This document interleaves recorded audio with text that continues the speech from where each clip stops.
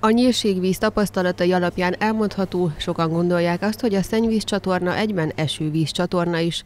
A szakemberek azonban kiemelik, hogy Nyíregyházán nem egyesített, hanem elválasztott rendszerű csatornarendszer működik. Ez azt jelenti, hogy külön csatornába vezetik el a szennyvizet és az összegyűlt esővizet. Egy normális, átlagos esőmentes napon nagyjából 20 ezer köbméter szennyvíz keletkezik a városban, ezt két telepen tisztítják.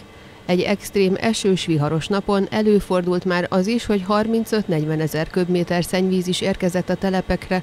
Ez azt jelzi, hogy nagyon sok esővíz kerül be illegálisan a szennyvíz elvezető rendszerbe, amely ekkora mennyiséget viszont már nem képes továbbítani a csatornarendszerek átmérőjéből adódóan, illetve az átemelő szivattyú sem tud ilyen mennyiségű vizet kezelni, hiába mennek a nap 24 órájában.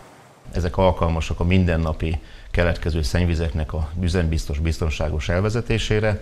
Így lettek kialakítva az mm, átemelő műtárgyakban lévő szivattyúk. Egy normál esőmentes napon nem is találkoznak, a lakosság nem is találkozik a e, szennyvízzel az utcákon, illetve a közterületeken. Ez akkor fordult elő, amikor van egy nagy özönvízszerű zápor, és az illegális bevezetett csapadék miatt pedig már a keveredett szennyvíz a mélyebben fekvő részeken, alaksorokban, pincékben megjelenhet az utcákon, illetve a közterületeken, amikor a csatornából kilépve ez a kevert szennyvíz megjelenik az utakon, és ez fertőzés veszélyes, meg hát kellemetlen is, mint szagra.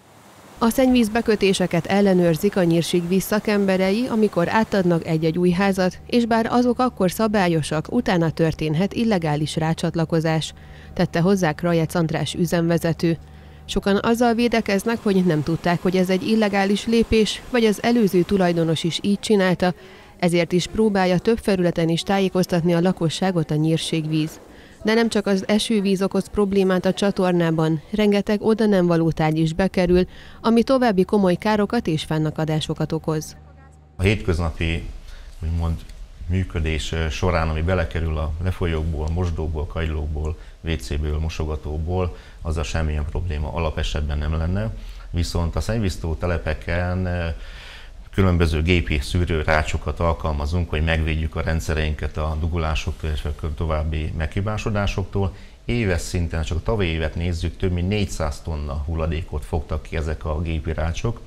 Ez, ez a hulladék mennyiség nagyon nagy számot jelent, 400 tonna, ekkora időzőben kisvárosról beszélünk, mint Egyháza. 120 ezer lakossal. Ennyit dobáltak be a WC kagylóba? E, WC-be, csatornába, Csatornán.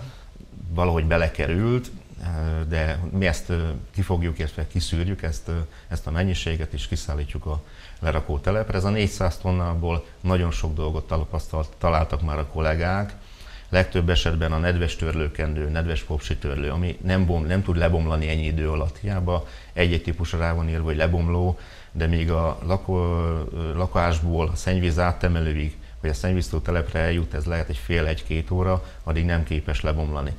Sok gondot okoznak még a kisállatoktól származó alom is, ami egy kőalapú származék és dugulásokat eredményez.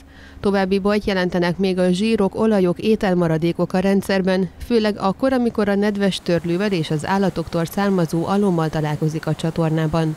Az elmúlt időszakban rengeteg gumikesztyű és szájmaszk is került a rendszerbe. A nyírségvíz üzemeltetési területén több mint 1500 darab átemelő műtárgy működik, ez közel 3000 szivattyút jelent. Sok esetben van, hogy helyszínenként mindkét szivattyú meghibásodik az oda nem való tárgyak miatt. A folyamatos figyelőrendszernek köszönhetően sok esetben, mire a lakosság érzékelni a problémát, addigra a nyírségvíz már a helyszínen dolgozik, vagy inkább már helyre is állítja azt, tette hozzá a nyíregyházi üzemvezetője. A társaság nagy hangsúlyt helyez a csatorna használati illemtanra, a szemléletformáló programokba pedig az iskolákat is bevonják, így a diákok is ellátogathatnak a szennyvíztelepre, ahol megismerhetik a modern technológia működését.